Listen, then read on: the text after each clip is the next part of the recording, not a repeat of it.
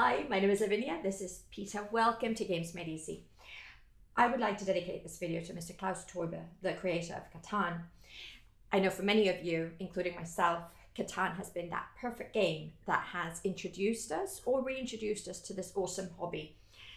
Personally, for me, it's been a life changer. It brings me so much joy. And one of the reasons I make these videos is to get more people into board gaming.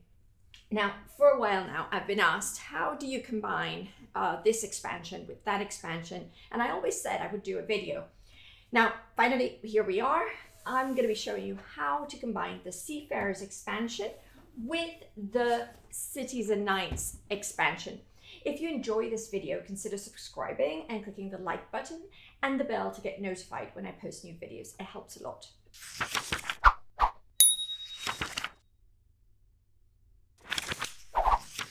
Before we start, you'll need to get familiar with Catan, uh, the Seafarers expansion and all its scenarios, and the Cities and Knights expansion. I've made videos for all of them and I've put the links in the video description. The best scenarios to play these expansions um, are scenarios with multiple islands, like heading to new shores or through the desert. I would avoid scenarios where you need to explore unrevealed terrain, like the Fog Island, or those with many smaller islands, like the Four Islands as these types of scenarios may make it difficult to combat the barbarian army. Whichever scenario you've picked, the rules are always the same when you combine seafarers with the Cities and Knights expansion. Set up the board, numbers, and harbours, robber and pirate if any, as per the seafarer scenario, including any scenario specific components, and then place all the other components as in Cities and Knights. In our house, we only keep the progress cards. We don't use the development cards in the largest army. Finally, place your starting settlement and city like for cities and knights. All rules and actions that apply to roads and cities and knights also apply to ships. For instance, you can use a diplomat to remove a ship. When the barbarians attack in scenarios with several islands, they are assumed to attack all the islands at once, so you need to count all the cities and all the knights in all of them. The knights can also move across the sea if they are connected by road or by ship. You may move an active knight across the sea if you have a ship in between the two intersections. The knight is then assumed to be on the ship. But you cannot just place a new knight on an intersection of sea hexes. A knight must always be connected to a settlement or city of its colour. If you have a knight at sea or across the sea on another island, that route is considered closed, and you may not move any ships if this would break this connection. If you interrupt a foreign shipping route by means of a knight or a settlement, that shipping route is considered interrupted in terms of the longest trade route.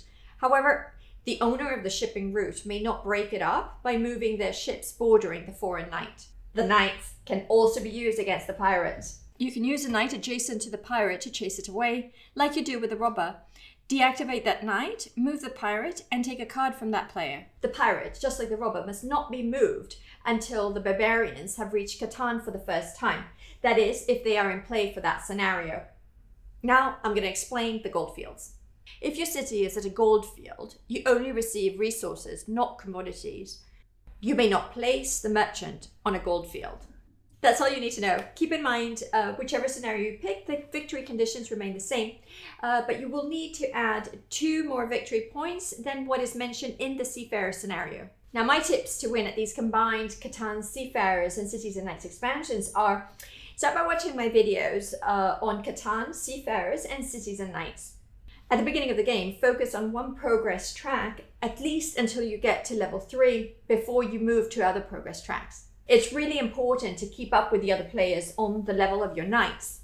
Even though you can't lose any more cities once you don't have any, it is a very painful place to be in. Avoid it at all costs. Make sure you get progress card as often as possible, they help a lot. Remember, you will need a second city before you get to level 4 of another progress track. You will need it for your metropolis. In some scenarios, you start so well on the main island that you don't really have a need to build ships to go to other islands.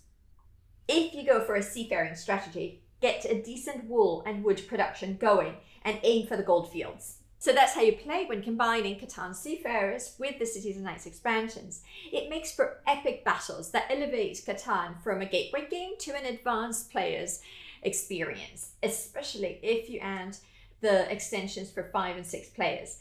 If you've enjoyed this video, consider subscribing and clicking the like button. And if you enjoy my content, consider buying me a coffee or supporting me on Patreon. The links are in the video description. And if there's a game you want me to teach, let me know. Just leave it in the comments. We'll make more games easy soon. Bye now.